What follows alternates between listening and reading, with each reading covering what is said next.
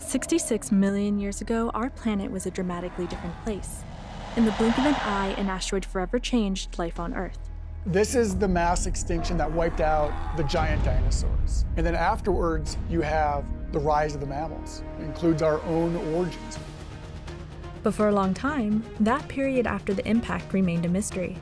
Now, aided by newly recovered fossils and breakthrough technologies, this team of paleontologists are piecing together the prehistoric puzzle, reconstructing the recovery of our world in unprecedented detail. We're able to digitally pull out each individual element to see how everything is then connected. We're able to really bring these animals back to life unlike we've ever been able to do before this technology.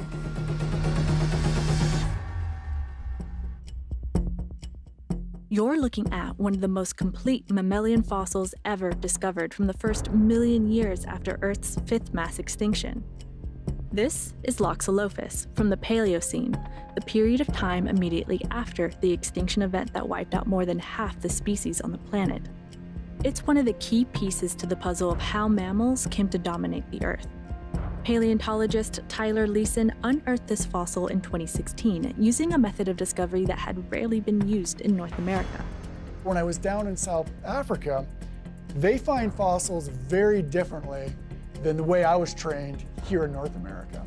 Rather than by looking for bones, they look for these concretions. And I pick up one of these ugly, nondescript looking concretions, take my rock hammer and just crack it open. And there looking back at me was a complete mammal skull. And it was just an amazing moment. I called Ian over, we start laughing and high-fiving and celebrating. All of a sudden, we went from basically not seeing any fossils to seeing fossils all over the place.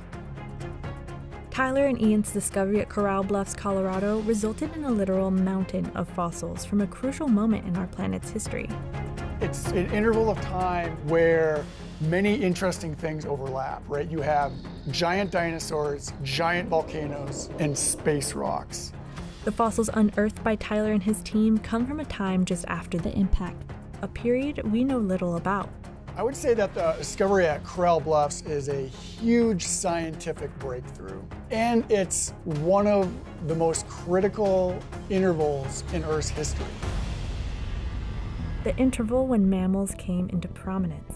For millions of years, these animals had been living in the shadow of dinosaurs. It wasn't until after the mass extinction that they began to take over. We found thousands of vertebrate fossils, going from mere fragments to now having thousands of complete fossils. The story is not just about one particular fossil. It's about the evolution and the changing ecosystems from right after Earth's last mass extinction. The Corral Bluffs discovery paints a picture of a complete ecosystem, with everything from plants to mammals the size of pigs and large dogs. Tyler and Ian recover fossils that can help piece together how life rebounded during a critical time in Earth's history. In terms of actually analyzing the fossils that we have found, there have been some major technological breakthroughs that have completely revolutionized the field of paleontology.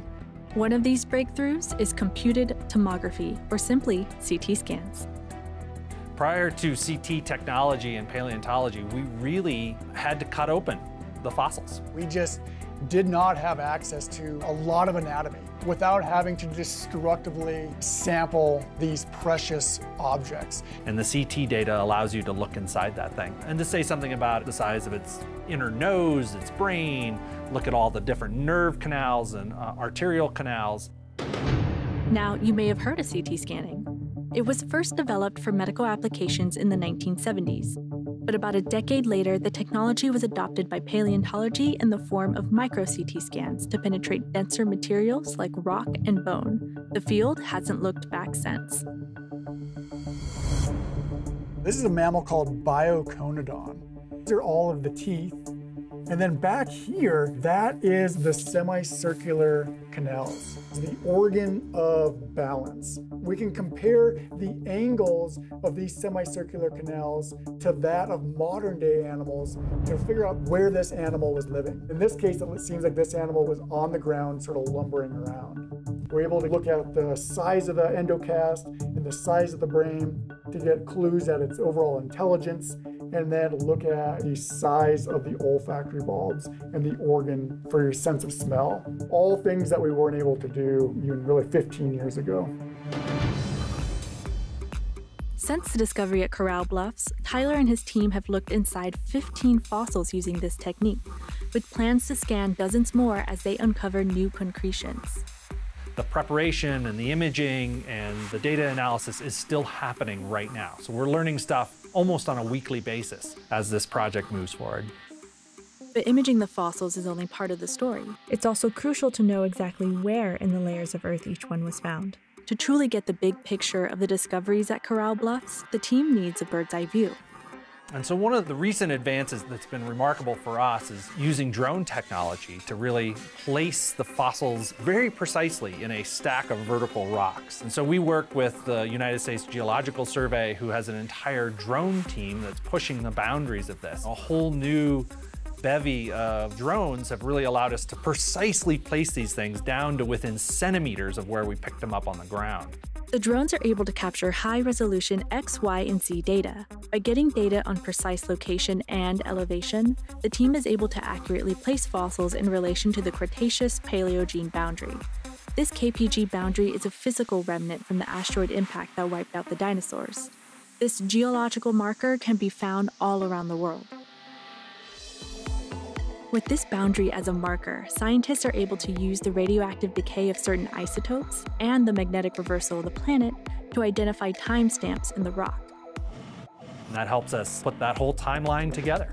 Age of the mammals is always on top of the age of the dinosaurs. But the next step is the ability to put a number to that, not just say relatively this is younger or older, because then you're really able to figure out the tempo of evolution and all of these big scientific questions that we're interested in. So building a timeline, or what we would call a geochronological framework in the rocks is critical for us to study evolution.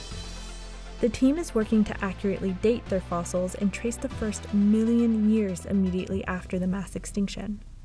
Ultimately, what we want to do is understand evolution and how we got to the present moment today. Being able to place things on the planet precisely to get ultimately to a framework and then being able to peer inside these things have been huge advances for our field just in the last 10 or so years. And as the team gets closer to fully understanding how mammals not only survived but thrived 66 million years ago, the work in Corral Bluffs continues. Sometimes it feels like a project like this is finished when you see like a bookend, but we are literally just scratching the surface.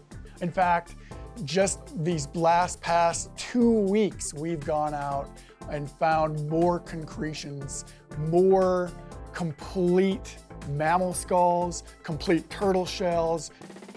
For me, it really has been a renaissance. It's probably the most exciting time it's ever been to be a paleontologist. This is by far the most significant discovery that I've made, um, simply because it's not just about one single fossil. It's about the entire story. It's the animals, the plants, and placing the animals and plants into an ecological context all within time.